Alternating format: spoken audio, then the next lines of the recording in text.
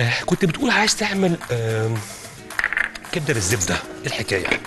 يلا طاسة سخنة حلوة بسم الله. شفت الكلام ده؟ مكعبين زبدة حلوين معاهم ورقه غار معاهم قرنفلاية. بحب اطعم أنا الزبدة بتاع الصراحة. حبايه حبهان. شوف الكلام ده كله عامل إزاي.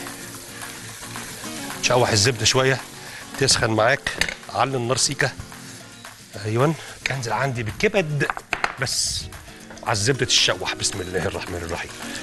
ربع كبد فراخ بس بلاش يكون قوانص معاهم هي كبد بس. كده؟ وأبدأ أشوح الكبد بالزبدة. طب وبعدين؟ تعالى بقى نعملها تتبيلة حلوة.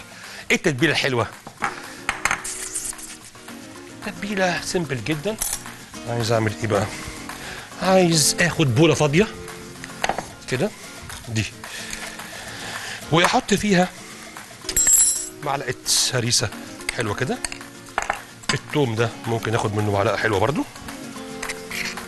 تمام. واخد عندي حبة ملح حبة بهارات سنة شطة سنة كمون سنة كزبرة تاتش وأروح مقلب وأنزل على طول على الزبدة.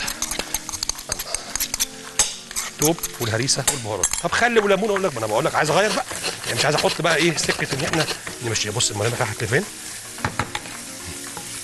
ده للرز بتاع الأرانب أو الرز معمول بالمستكة والزبيب.